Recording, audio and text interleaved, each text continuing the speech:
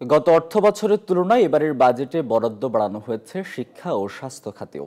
শিক্ষা খাতে এবার বরাদ্দ রাখা হয়েছে রেকর্ড সত্তর হাজার সাতানব্বই কোটি পঁচাত্তর লাখ টাকা। এর মধ্যে নতুন এমপিও ভুক্ত হওয়া শিক্ষা প্রতিষ্ঠানের জন্য রাখা হয়েছে বিশেষ বরাদ্দ।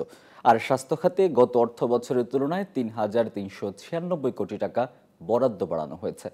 জুবার আল মাহমুদের রিপোর্ট।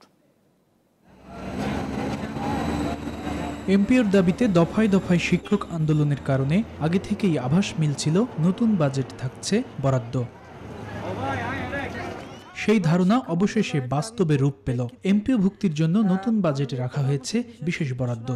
এই দীর্ঘ দিন বন্ধ থাকা এমপিও ভুক্তি কার্যক্রমের জন্য বাজেটে প্রয়োজনীয় অর্থের যোগান রাখা হয়েছে। শিক্ষা খাতে নতুন অর্থ বছরে মোট সত্তর হাজার একশো আঠারো কোটি টাকা বরাদ্দের প্রস্তাব করা হয়েছে যা আগের অর্থ বছরের তুলনায় সতেরো হাজার কোটি টাকারও বেশি। বরাদ্দের প্রস্তাব।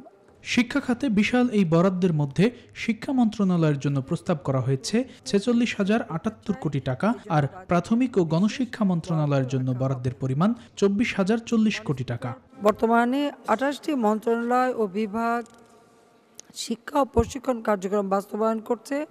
আগামী দু হাজার উনিশ বিশ অর্থবছরে বাবদ মোট সাতাশি হাজার ছয়শো বিশ কোটি টাকা বরাদ্দের প্রস্তাব করছি। বরাদ্দ বাড়ানো হয়েছে স্বাস্থ্য খাতেও। এই খাতে এবার আগের অর্থ বছরের চেয়ে বরাদ্দ বাড়ানো হয়েছে প্রায় তিন হাজার তিনশো ছিয়ানব্বই কোটি টাকা। মোট বরাদ্দের মধ্যে স্বাস্থ্য ও সেবা বিভাগের জন্য প্রস্তাব করা হয়েছে উনিশ হাজার পনেরো কোটি টাকা এবং স্বাস্থ্য শিক্ষা ও পরিবার কল্যাণ বিভাগের জন্য বরাদ্দ রাখা হয়েছে ছ হাজার দুইশো চব্বিশ কোটি টাকা। টাকা এর মধ্যে জাতীয় প্রান্তিক পর্যায়ের মানুষের স্বাস্থ্য সেবা দিতে আরও অন্তত আড়াইশো কমিউনিটি ক্লিনিক চালুর পরিকল্পনাও রয়েছে সরকারের। তারা হ্যাঁ বলুন। Zubair Al Mahmud news twenty Dhaka.